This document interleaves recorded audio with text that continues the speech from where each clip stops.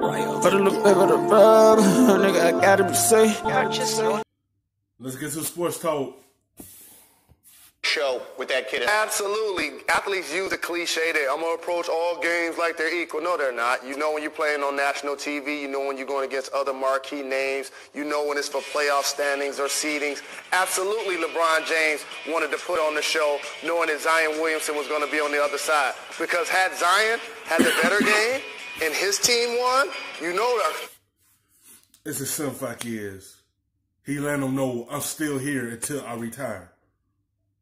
Because these athletes, they look at the TV, and that was a big game against the Pelicans and Zion. So LeBron had to show the young man that I'm still one of the greats, and I'm still here to play. And he's going there and approach it and have to show him, oh, I still got it. And you know everything was gonna be on Zion. That's all they talk about in this game. It's about Zion in the matchup against LeBron for the first time. And, and Ingram had a good game and it went unnoticed because of the marquee matchup between LeBron and Zion.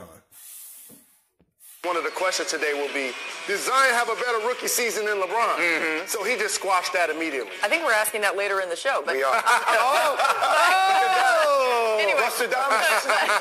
but Oh, when you when you look at um, this whole passing of the torch and transitioning of the guard, and, and that's not a thing that happened last night, but how long are we away from that where maybe Zion does take over as the face of the NBA? Because LeBron is obviously still very secure in that spot. Well, I think there can be multiple faces of the NBA. Luka Doncic is in that conversation. Jayson Tatum balled out last night. He had 36. Ja Morant is in that conversation coming up. So I, I do think it's inevitable because, you know, Father Time is undefeated.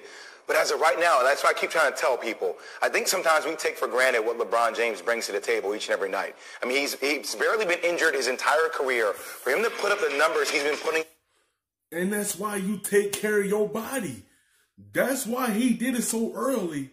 Because he knew he want to play later into his 30s. That's why he went ahead and took care of it. Because he knew that he wanted to play extended years in the NBA. That's why he went ahead and did all that. And he's still doing that. And that's why he be able to held up and not had that no injury throughout his career.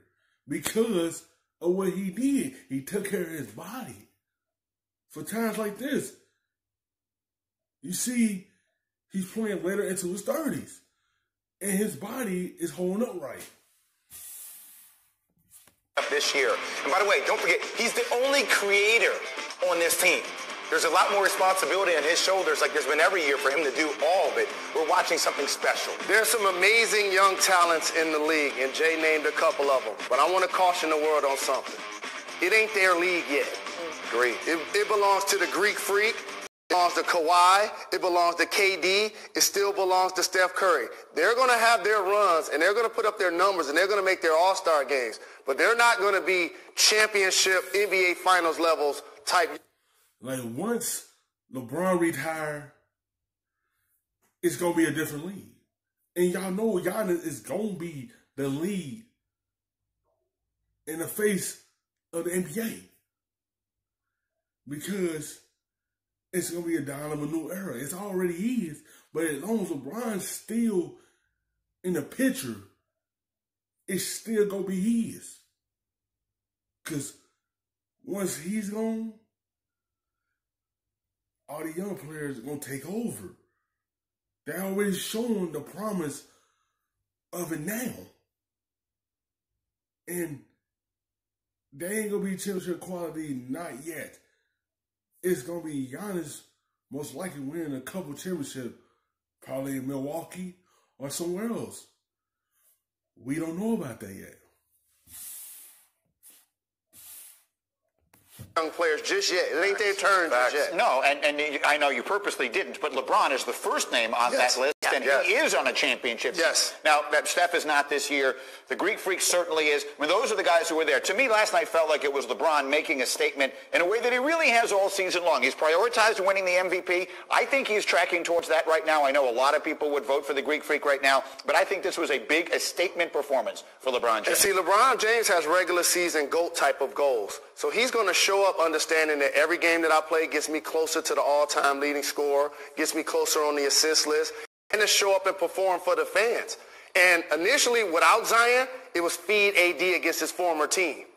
Now Zion returns, oh, I'm LeBron. I'm taking over getting a season high 40 points. Exactly, and LeBron was dominant, but look, Zion, that's his first taste of LA last night. Hmm. Playing against that size of those players like JaVale McGee, you know, Dwight Howard.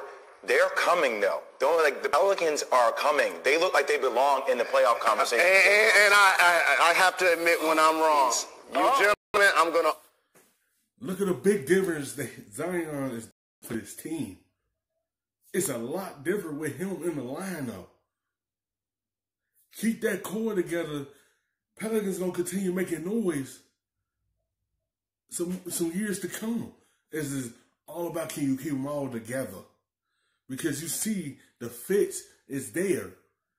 Everyone had doubts about Zion, and now look how he's showing them that he belongs in the NBA.